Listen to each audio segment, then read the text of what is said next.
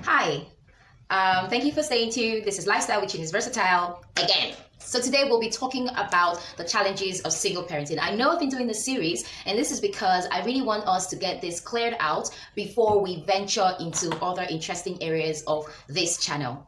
So if you find, um, as you find, we'll be talking about the challenges and what you can do or what can be done to help um, such people in such situations. Okay, we've talked about in the previous episodes, we've talked about single parenting situations. What are the things that actually make one become a single parent? We talked about um, the misconceptions of single parenting. We also did talk about things you should not say. Yeah? That was the other one, right? So um, today, basically, we'll be venturing into um, the challenges that single parents face. It is important for us to um, make this known so that you out there can know when you come across a single parent, so at least you can have an understanding of what a single parent ideally goes through.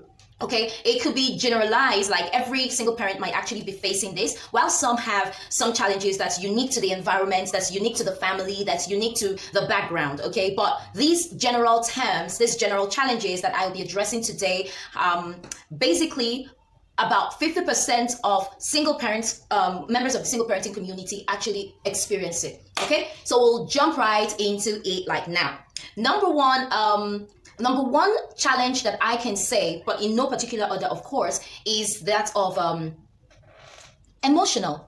Yeah, because by the time one experiences, through whatever means, of course, through whatever means that one eventually experiences the um, event of becoming a single parent, it actually has a lot to do to the emotional person uh, emotional life of that individual. Okay so take for instance someone who lost his spouse or lost her spouse okay? There is that emotional trauma that person is going to face as a result of grief as a result of loss okay? And that person is going to have a, a few moments of depressions and or depressive moods and all of that. Or somebody who just found out that she's pregnant and to someone who might not marry her. And then she decides to keep that pregnancy. Of course she's going to feel emotionally down like you know or a situation of divorce when a, couple have to go their separate ways or even separated. It certainly does have a strain okay on the emotional life of any individual. So that's why i'll start off with emotional side. So basically these emotion um, you, you tend to have experiences such as stress. You get stressed all the time. Probably you feel fatigued. You, you don't you don't have joy towards anything. You don't want to continue. You just don't want to keep up. Like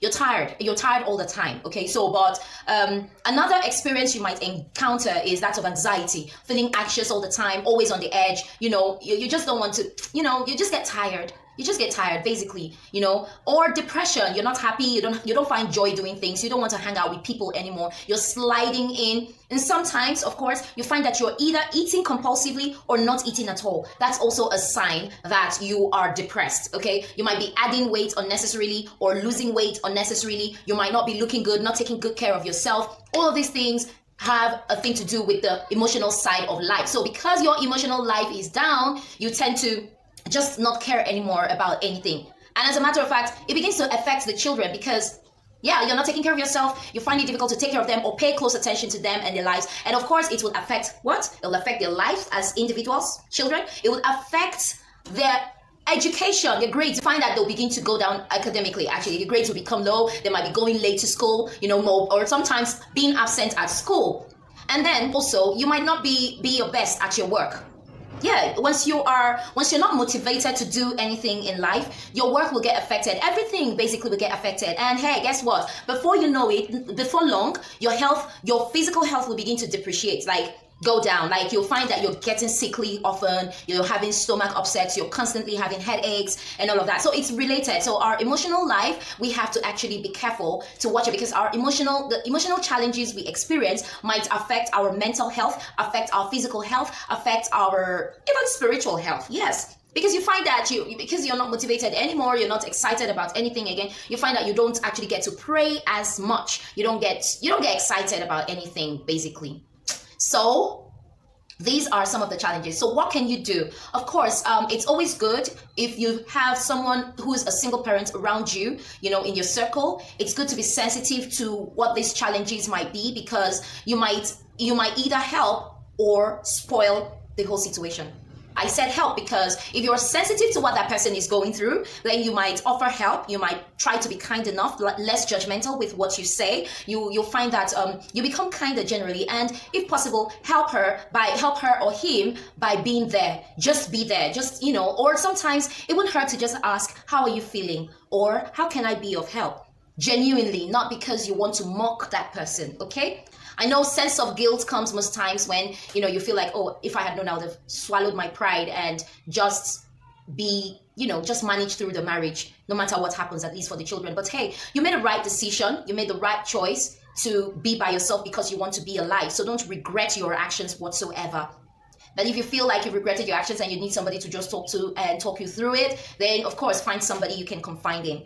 Okay, so we'll move on to the next um challenge which we often find and that is loneliness. Of course the emotional side um yeah kind of help happens but it, loneliness actually continues more like for a very long time at least longer than the emotional side because you know you keep oftentimes you keep sliding in and out of the emotional challenge. But loneliness, basically, you'll find that you're lonely, you don't have a partner, you know, it feels good to actually talk to somebody or have somebody you can always talk to, right? But when you don't have that person, when that knowledge, when it's been dawned on you that you don't have that person, uh, you don't have that special someone that you can actually and readily talk to when you feel the need to talk to somebody, it's actually very, very, very challenging. And then it can also hamper on your emotional health. So yeah loneliness and um, when you don't have someone to talk to or or sometimes for some people who already have the children before they became um, single parents, they find that when the children have to go on a holiday, you know, we, we get drowned in on our children's activity. But by the time they probably go on a vacation, go on a holiday, or just go on a weekend visit to the other side, or even to another family member or friend, you find that you become very lonely because that thing that got you engaged or that you got engaged, you, you engaged yourself in at the time is no longer there. And then you begin to feel that loneliness. You're not just alone, you're now lonely. And it dawns on you. And guess what? What? You find yourself gradually sleeping deep in. What can you do? When you feel lonely, personally,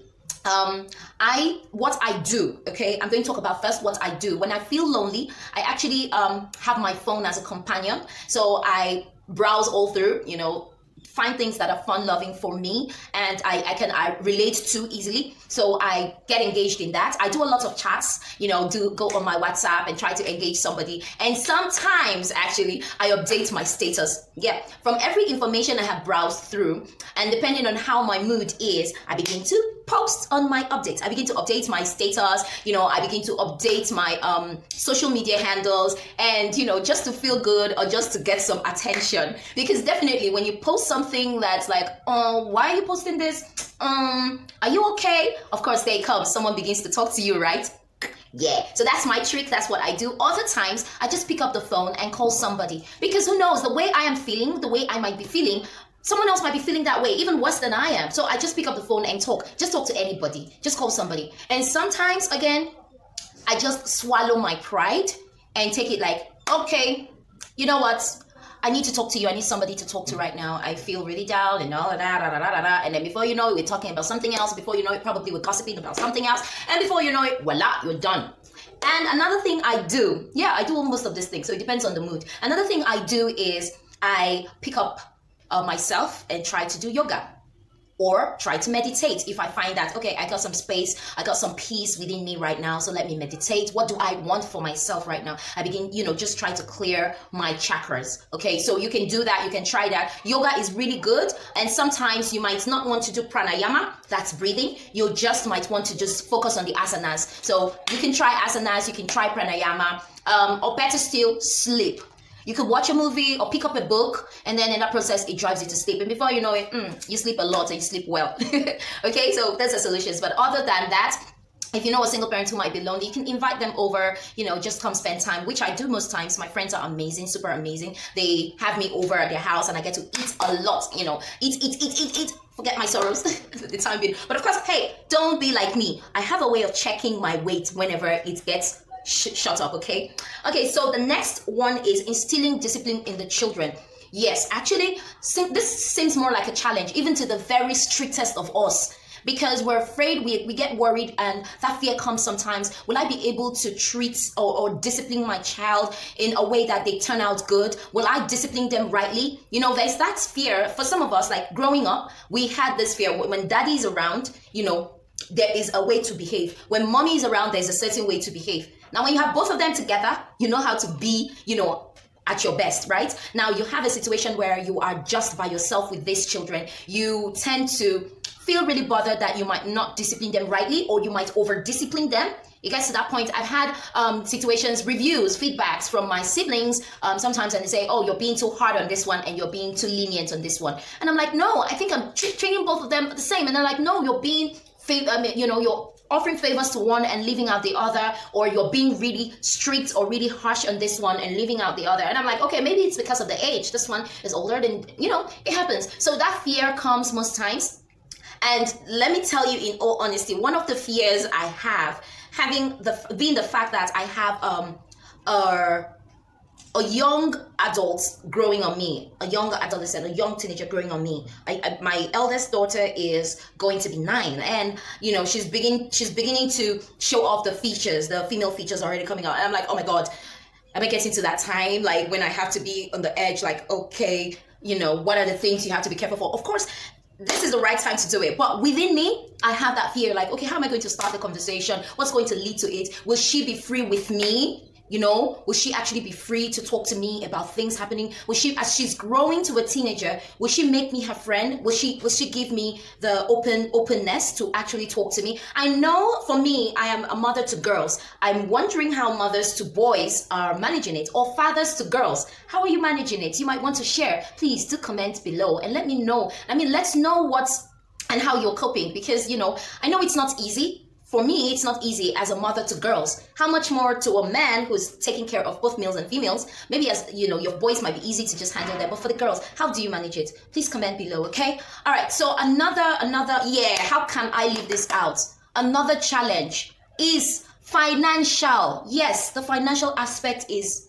Oh my God. Okay, so now um, I believe I would say that our counterparts in the US and you know in the other advanced countries are a lot advantaged, you know, at are at an advantage than we are in this third world or in Africa. I say that because you know, like in the US, in Canada, and all of that, you have these job centers. So you can easily walk into these job centers and apply for a job or check out any job that's available that you can do, right? So jobs are readily available, okay? But here, it's not the case. You know, you have to either focus on the skills that you got or if you're lucky and your certificate is able to get you a job which you will eventually you know you have to actually lobby for or god help you you're highly connected and somebody just gets you hooked to that job. Otherwise you'll have to either sweep the streets or serve people.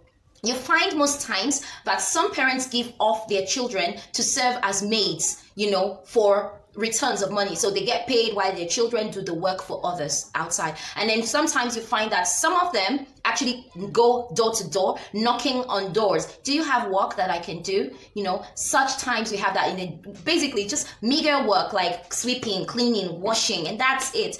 But it's not enough. How much do you get paid at the end of the day? How much are the cost of condiments in the market? You'll be surprised that many of them do this just for 1,000 naira and it's not easy, it's not fun, it's not smooth, it's not encouraging.